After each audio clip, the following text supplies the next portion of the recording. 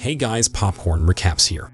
In today's video, I will be telling you the story of the horror thriller film, Case 39. Spoilers ahead, enjoy the video. Set in Oregon, the movie follows social worker Emily Jenkins as she navigates the rising pressures of her career and the new case that was assigned to her. She is described as the number one call for people who don't have anyone else, and the first few minutes throw us right in the midst of the action. When she is assigned her 39th case, Emily visits the home of Edward and Margaret Sullivan.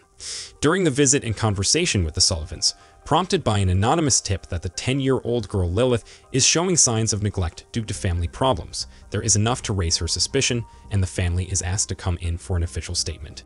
Outside the interview room, Lilith suggests that her parents want to send her to hell, but when questioned by Emily's boss, the girl is too scared to answer the question directly, and the family gets to walk free. Not long after, Emily meets Lilith after school and gives her her phone number in case she is ever in serious trouble. That same evening, a terrified Lilith calls Emily, who immediately rushes to help her. As soon as Lilith is fast asleep, her parents pick her up and bring her to the kitchen, where after a brief scuffle they manage to fit the girl inside their oven, turning up the heat. In the meantime, Emily arrives accompanied by her police officer friend Detective Barron. They hear the girl's screams and break into the house.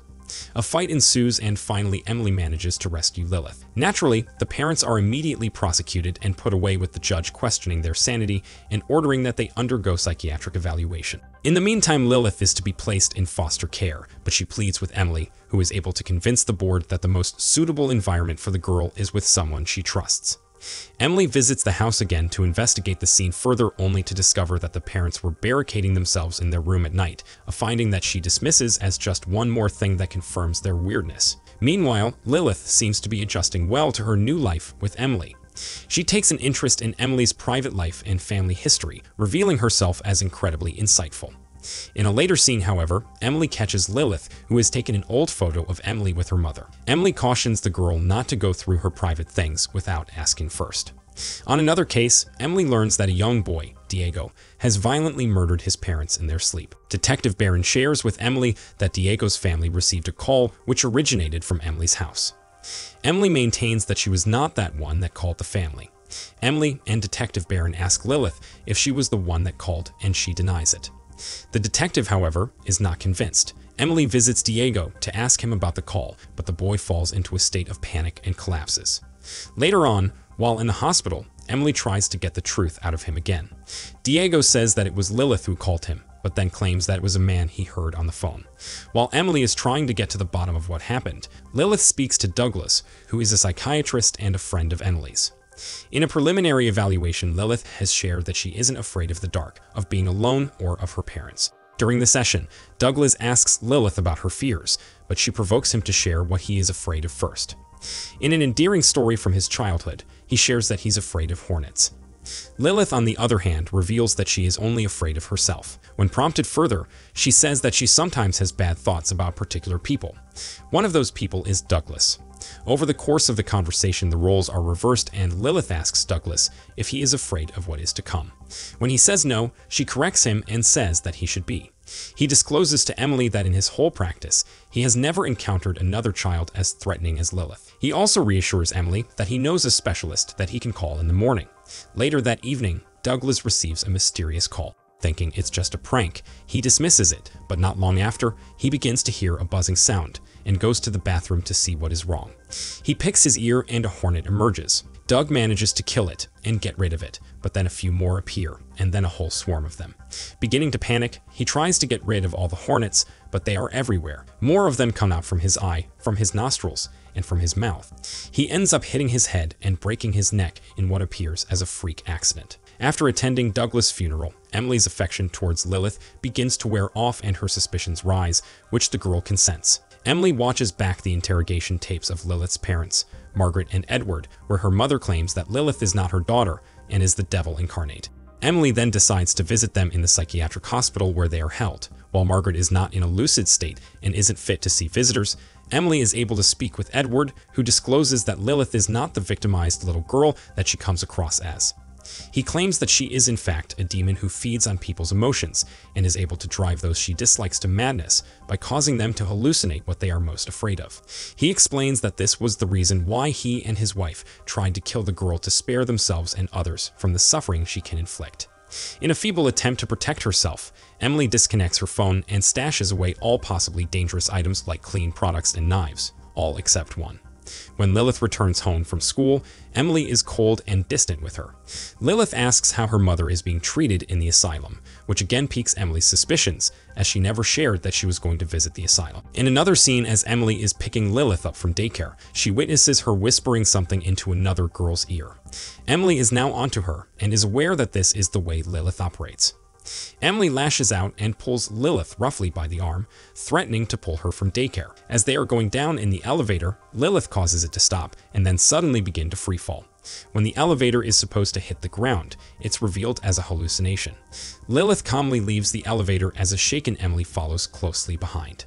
Later, Emily finds Detective Mike Barron and confides the truth in him. However, this time he dismisses Emily, stating that this is just her grief speaking.